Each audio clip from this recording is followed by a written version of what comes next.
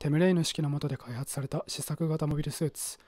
ガンタンク初期型の後継機として開発され機動性重視ではなく火力が重視のガンキャノン。今宵はこのガンプラをレッツ。クラはいどうもこんにちはこんばんはこんばんは。今回はですねはいこのガンキャノン初期型を、まあ、ジャンク品なんですけど作っていこうと思います。でジャンク品なんでアンテナは見事に折れてます。えその他デカールがバリバリ貼ってあるのでこれをしっかり直して作っていきたいと思います。よし早速デカールを取っていきます。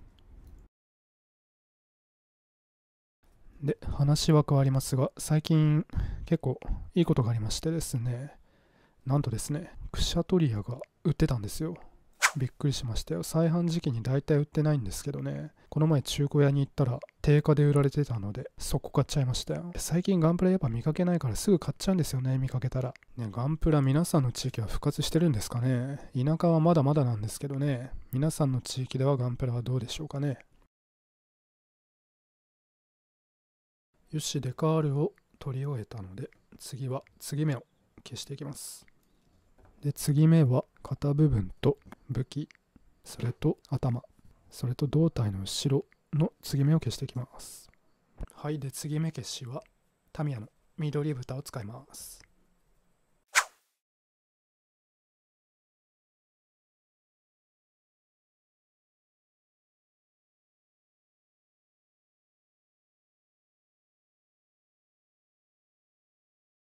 接着剤が塗り終わったんでまああとはある程度乾かしてヤスリをかけていきます。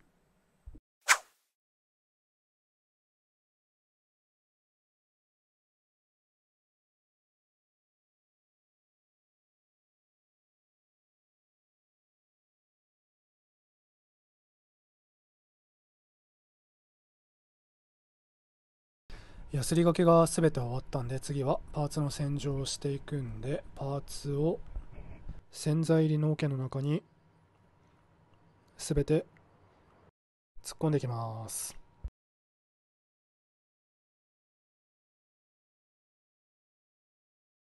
すべてのパーツが入れ終わったら歯ブラシでゴシゴシとパーツを磨いていきます。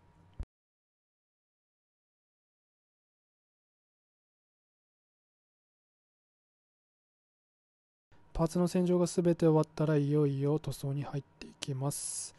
まず下地塗装として塗るのが暗めのグレーですね。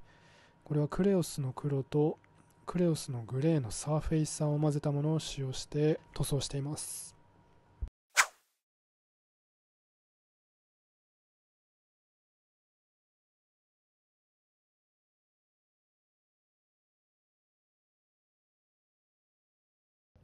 すべてのパーツをグレーに塗り終えたのでここからは本塗装に入っていきます。まずは赤の塗料を作っていきます。赤の塗料はフィニッシャーズのピュアレッドとフィニッシャーズのミディアムイエローを混ぜて若干オレンジ味の赤を作っていきます。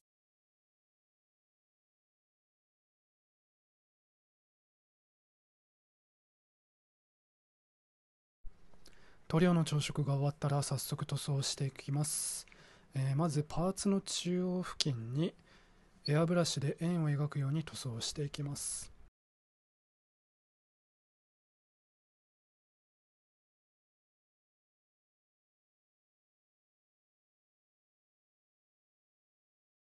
仕上げはパーツ全体に赤をなじませてパーツのトーンを整えていきます。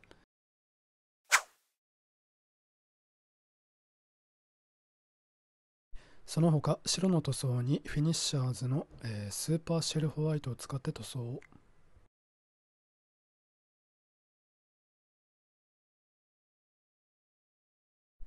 黄色の塗装にはミディアムイエロー。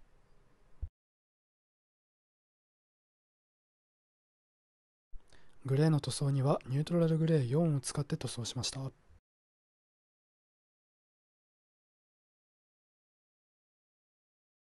塗装が終わったら墨入れ。デカールを貼り付けてクレオスのスーパースムースクリアを吹き付けたならば。